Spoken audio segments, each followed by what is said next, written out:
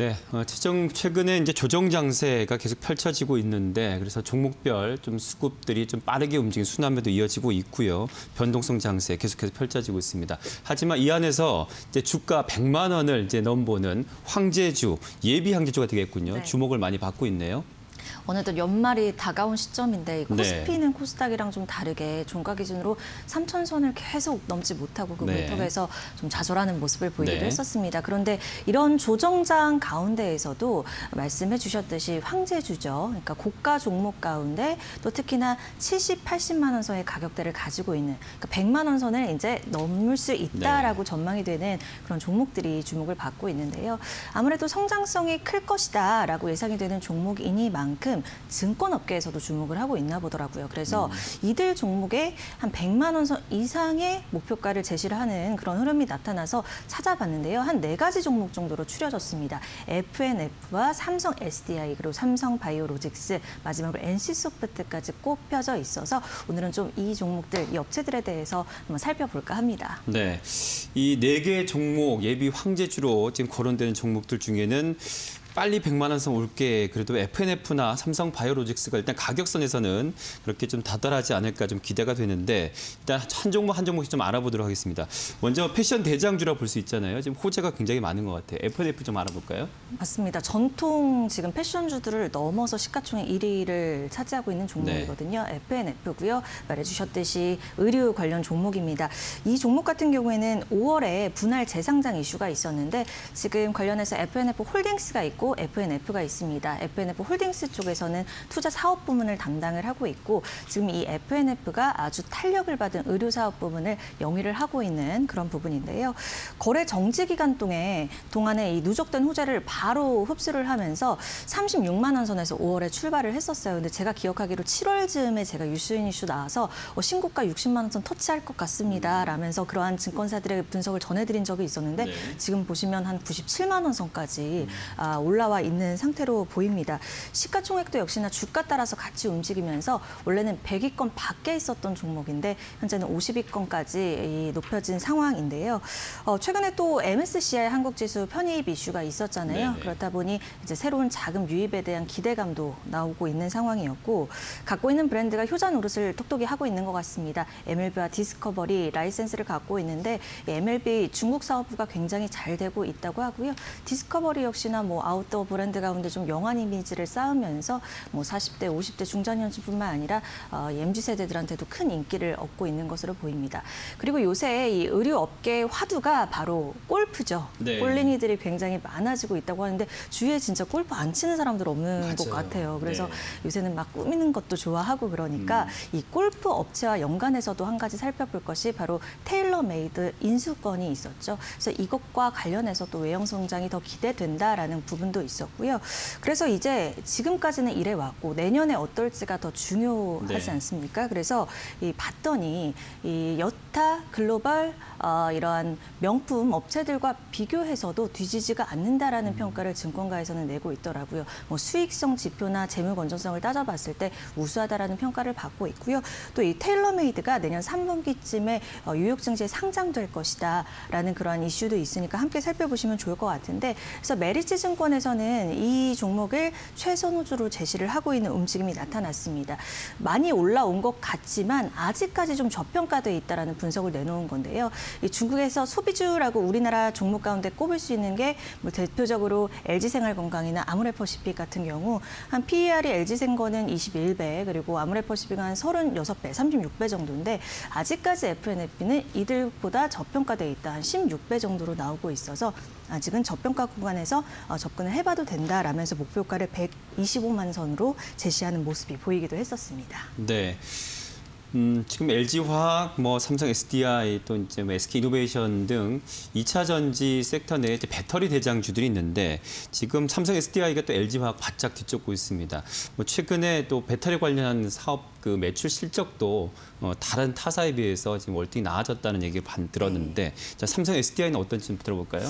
어, 지난달 중순 정도에 한 65만 원 선까지 내려갔었는데요. 그래도 반등에 성공을 해서 한 달 사이에 한 15% 가까이 오르는 움직임을 보여줬습니다. 오늘장 흐름에서는 조금은 좋지는 않은 것 같은데요. 네.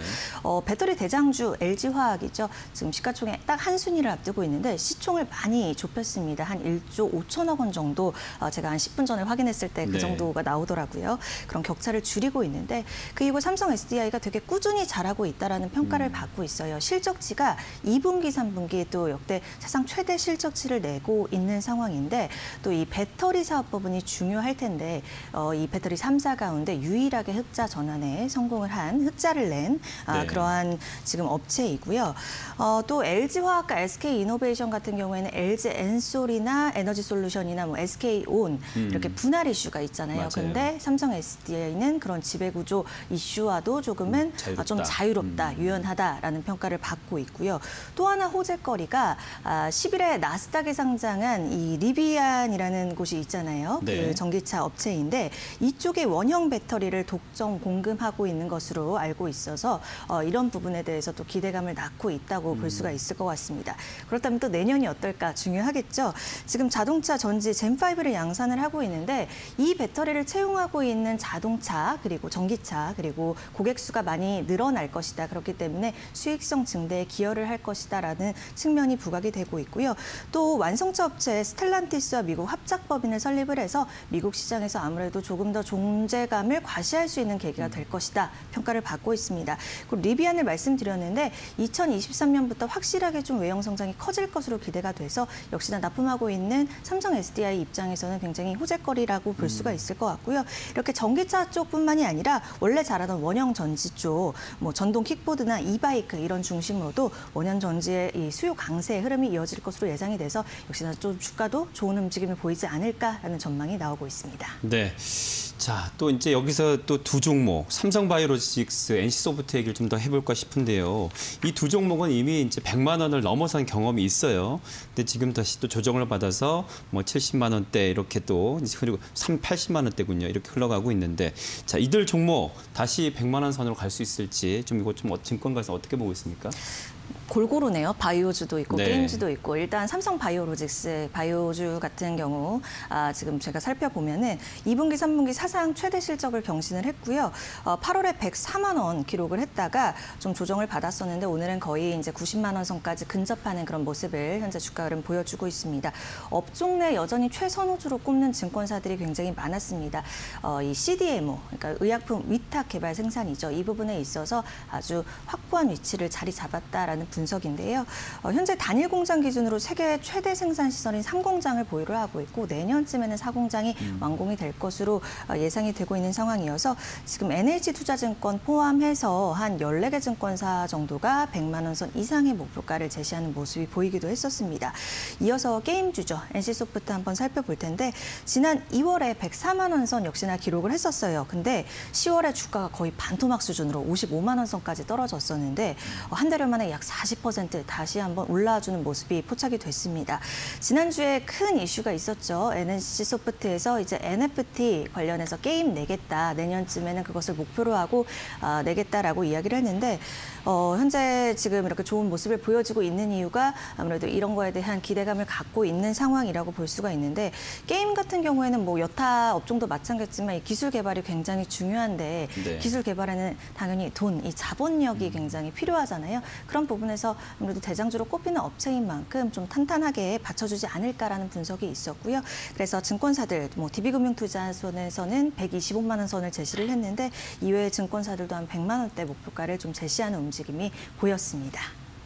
자, 기업의 황제주 이런 의미는 아무래도 이제 투자에 있어서 좀 안정적인 투자처가 아닐까라는 그런 심리가 있는데요. 어떻게 바라봐야 될지 좀 장단점하고요. 특징으로 좀 마무리해 주시죠.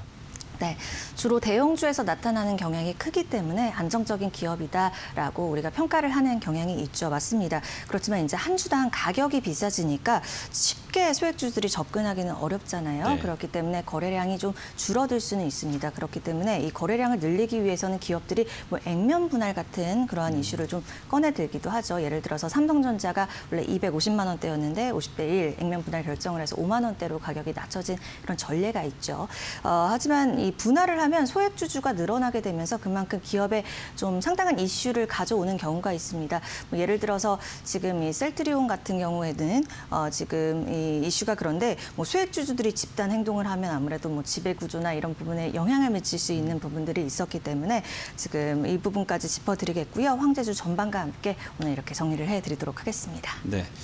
자, 오늘 뉴스 이슈는 이혜라 기자와 함께했습니다. 오늘 말씀 고맙습니다. 네, 고맙습니다.